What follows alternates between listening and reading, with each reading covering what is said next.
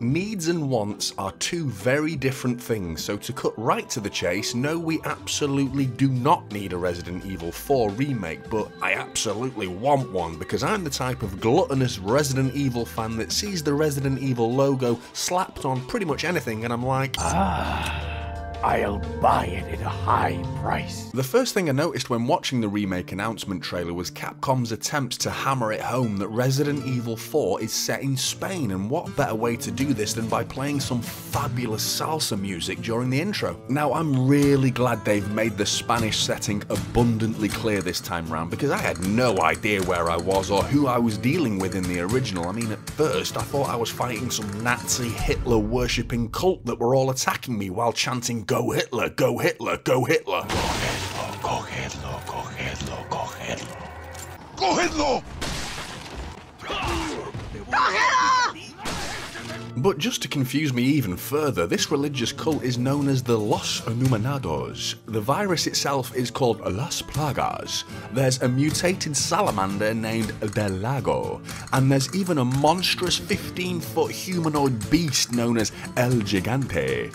Obviously, things weren't made clear enough in the original, so they've slapped some salsa music over the intro that's going to really help. And that's got me putting two and two together as well, and I think I know where they're going with this. It can only mean one thing for Leon when he comes face to face with the remade versions of the infected locals, aka the Ganados. My salsa makes all pretty girls want to dance and take off their underpants. My salsa.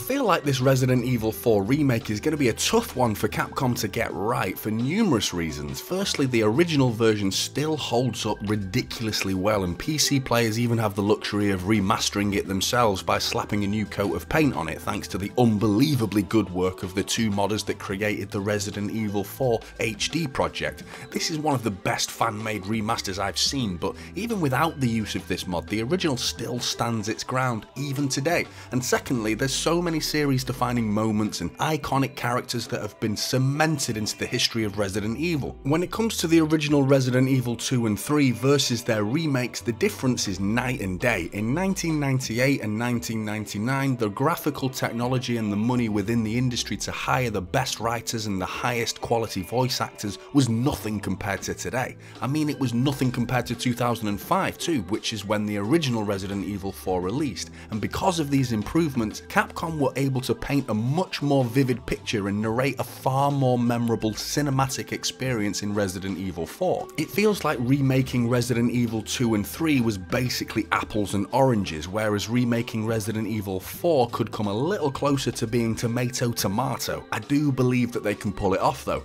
I've just finished playing the original again and there's some areas that can definitely be improved on. The controls are fairly up to scratch even compared to today's modern standards, but there's room for improvement. The aiming can be a little overly forgiving at times and there's a desperate need for quick swapping my weapons so I'm not constantly hopping in and out of my inventory which they'll no doubt be adding. There are some things I'm worried about though, things that they could tinker with a little too much though. Like are we going to see a faithful remake of the greatest merchant in gaming history or are they going to completely butcher his character into something unrecognisable where he doesn't expose himself to the player every time you meet him? Welcome.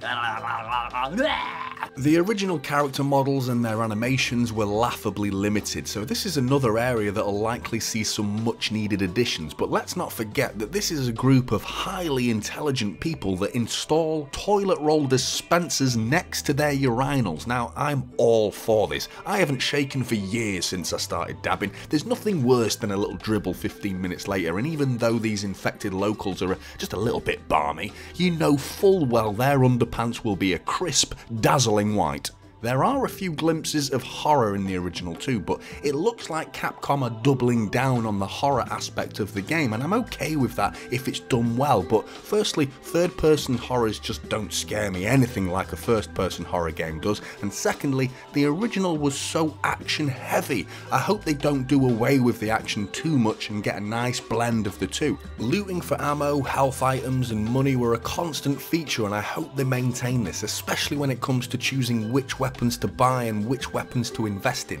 Leon was a timid rookie in Resident Evil 2, but he turned into a badass martial arts expert worthy of being hired personally by the President of the United States of America. I'd like to know a little bit more into the backstory as to how that came about and a little bit more into the narrative sense of things and how are they going to integrate his spinning kick moves into the remake, if at all. Will they include the QuickTime events too? These were utterly pointless in my opinion and only offer a morsel of fun the first time you play, so they could definitely do away with those.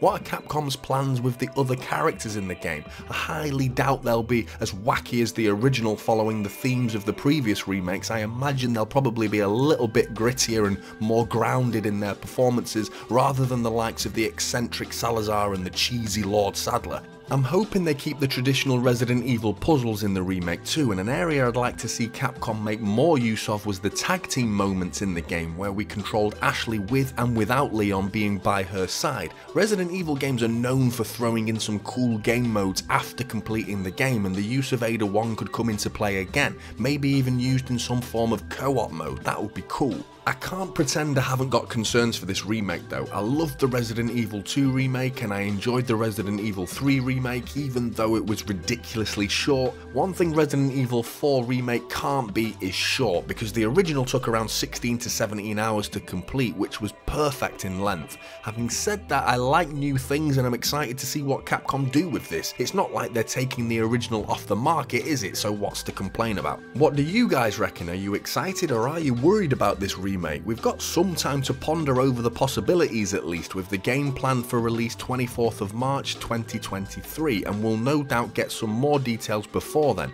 I don't think there's any doubt that every die-hard Resident Evil fan will be dipping into their pockets to purchase this remake, whether they're excited or not, and Capcom will no doubt reply, Thank you.